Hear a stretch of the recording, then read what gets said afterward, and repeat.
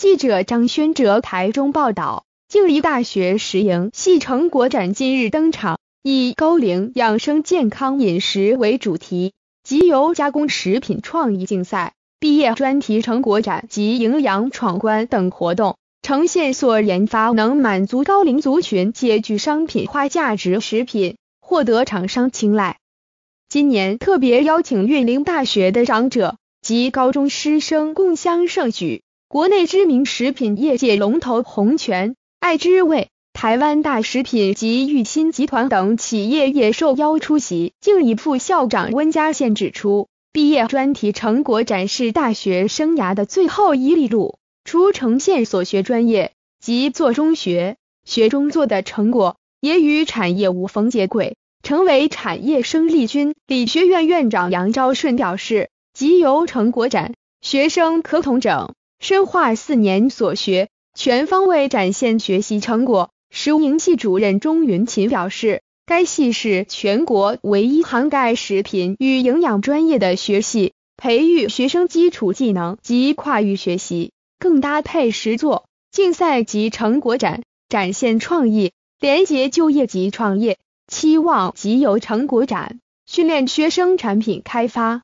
制成测试及跨系所合作的包装设计。行销管理等能力。食营系副教授陈淑如指出，台湾迈入高龄社会，八年后达超高龄，食营系师生为此精心研制适口性佳、易咀嚼吞咽、符合高龄健康养生的食品与餐点，期待成果展成为年轻学子掌握高龄社会餐食的重要脉络。师生发挥巧思，研发兼具健康概念。保健与美味的凤梨果醋雪酪、神仙棒、悠悠酱、起司冰淇淋、凤梨与红茶啤酒、红旗蜜奶酪、起司豆乐饼、QQ 益生冻、平安酱等产品。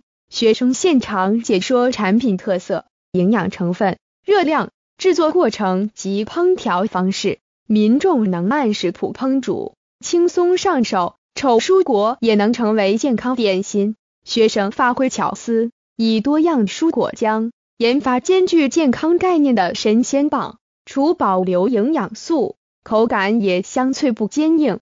添加的益生菌、食材中的寡糖、可溶性膳食纤维形成 symbiotic 产品。市面上的抹酱大多以奶油为基底，因而热量高，较缺乏营养素。学生研发的 U U 酱。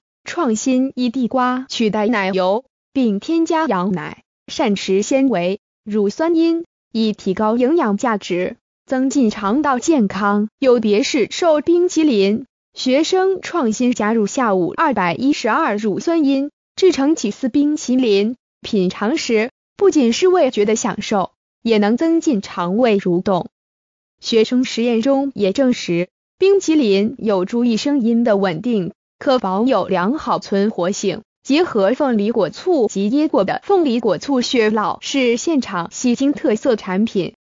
食营系四年级研习人说，团队成员在产品开发前，先至岳林大学了解长者需求，实际访查后，发觉多数长者喜欢修煎冰品，因而决定研发凤梨果醋雪酪，为增加口感及提升机能性。加入椰果及凤梨果醋。指导老师钟云琴说，椰果的学名是细菌纤维素，是天然最细的纤维，可改善长者普遍膳食纤维不足的现象。加上凤梨果醋具良好的 DPPH 自由基清除能力，可提高人体抗氧化能力。